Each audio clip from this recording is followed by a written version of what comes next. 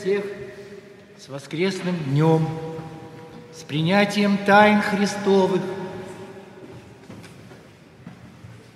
Мы сегодня говорим о святителе Григории Паламе, который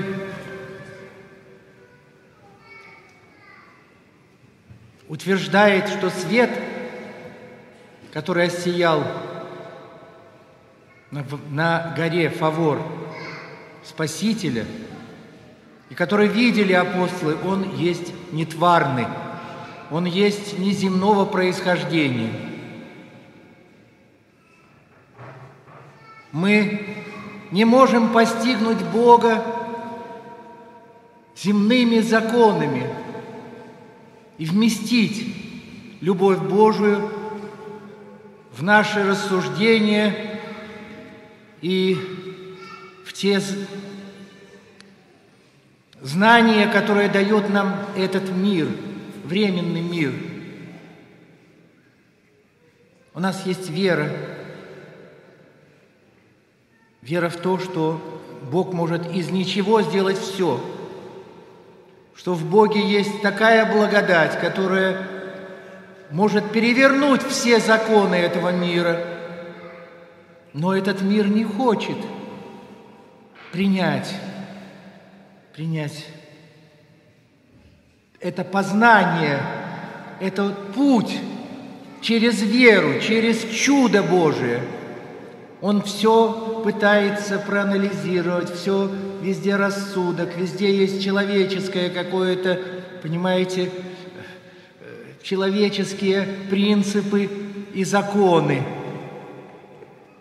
можно быть очень грамотным, образованным, одаренным человеком, но абсолютно быть слепым в духовной жизни.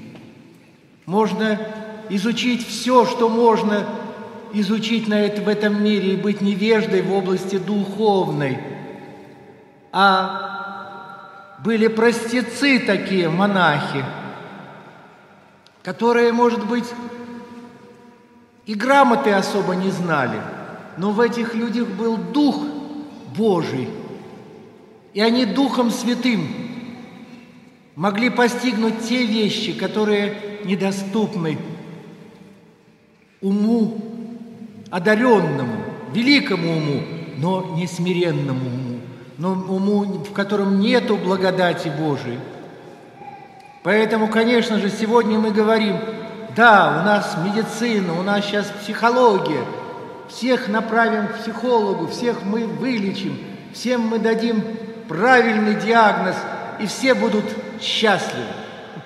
Но это иллюзия, это обман, друзья мои. Есть Христос. Неужели Он хуже разбирается психологов? Есть Христос, который лечит нас своей любовью. Но Его лечение не связано с тем, чтобы мы получили облегчение сию же минуту, и чтобы нас не перестало все болеть, и чтобы мы побежали куда-то. Может, мы не туда побежим, может, нам не надо бежать, может, ползти надо, тогда далеко не убежим. Понимаете? Нам нужно доверять Богу. А этот мир пытается в нас выбить веру. Понимаете, выбить веру. Это самое страшное, что может быть. Уже, понимаете, чудеса, которые были раньше, это уже мифология для многих образованных. Это же уже было так, знаете.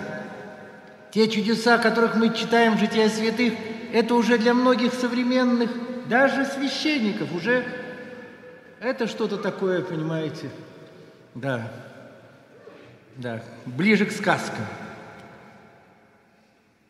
Но в нашей жизни были чудеса. И, наверное, каждый из нас знает это чудо, которое случилось в его жизни, когда вопреки всем разуму, всей логике, мы все-таки дошли до храма, мы все-таки открыли свое сердце для Божьей любви. И она, эта Божья любовь, нас меняет, полностью меняет. Мы должны стать новыми людьми, и мы станем новыми людьми.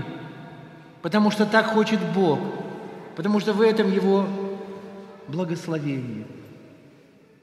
Поэтому, конечно же, мы же не против знаний, мы не против врачей и всяких других изобретений, которыми сейчас насыщен этот мир. Мы просто за то, чтобы сохранить доверие к Богу, детское доверие. Будьте как дети, простое, понимаете? Где просто Серафим Сарус, э, Амвросий Оптинский говорил, там ангелов доста, а где мудрено, там нету его, ни одного. Понимаете?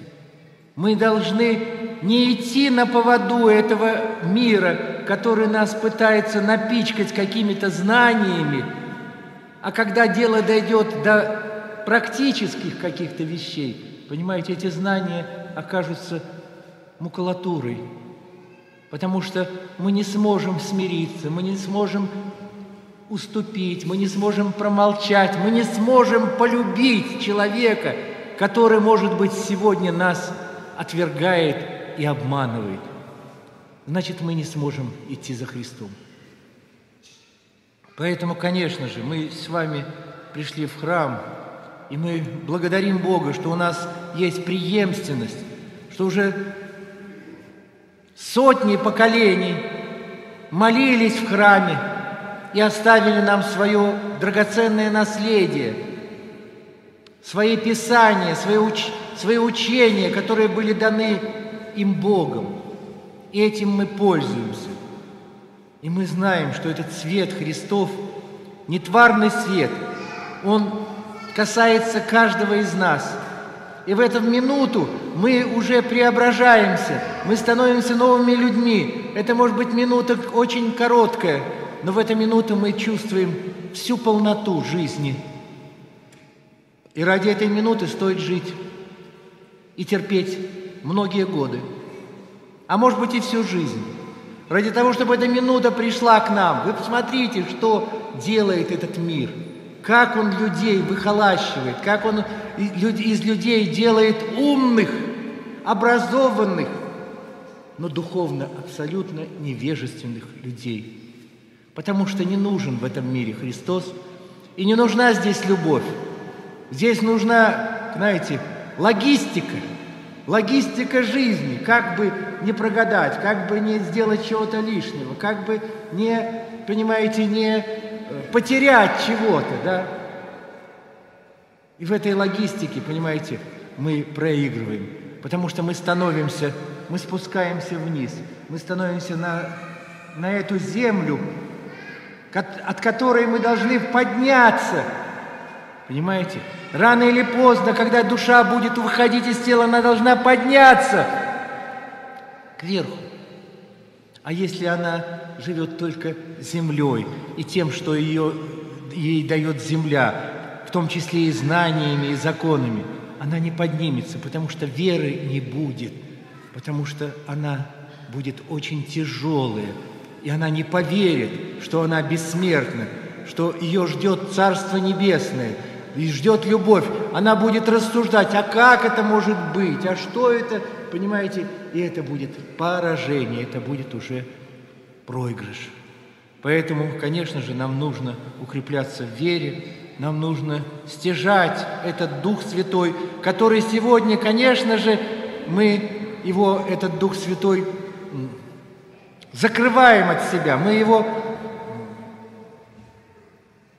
забрасываем нашими грехами, но тем не менее все равно Господь пробивается в наши сердца, и сегодня Он нам дал радость встречи с Богом, когда мы приняли причастие, которое является истинным телом и истинной кровью Христа во здравие души нашего и тела.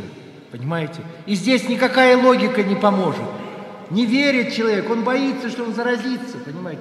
Так он боится, потому что он не верит, что это тело и кровь Христа, что в этом есть вообще наше спасение, что это самое важное, что это самое святое, что может быть. Это Христос. Он в это не верит. Но он верит в инфекции, в микробы и в прочие, прочие вещи, которые, к сожалению, понимаете, они есть в этом мире, их очень много. Мы все построены на микробах. И душа наша тоже вся в микробах греха. Но мы знаем, что у нас есть врач, который пришел в этот мир спасти грешника. И я первый из них. Сегодня у нас вечером в полшестого будет первая пассия, Евангелие от Матфея. Так, остальное все.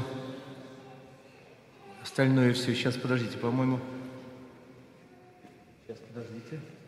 Слушайте, а Благовещение когда? Какой день будет? Благовещение. Так, так все на этом. Я думаю, уже Благовещение на этой неделе. Нет. Все, все в порядке. У нас э, две литургии прежде священных даров э, вечером и одна в пятницу утром.